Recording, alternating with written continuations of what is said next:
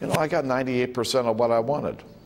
I'm pretty happy. Keeping an eye on the economy at noon, the Palm Beach County Commission meeting this afternoon set to approve some major cuts to several programs, and it's all thanks to the federal sequester. Shopping block today, transportation for Head Start programs, getting rid of breakfast for needy seniors, reducing emergency services, and employment training for community action programs. The meeting starts today at 5 o'clock at the Government Center in downtown West Palm Beach. Now, meanwhile, the federal sequester is also threatening summer camps for local children.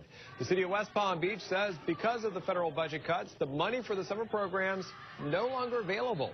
City leaders are urging parents to start looking for other sources of funding for their children's summer camps this summer.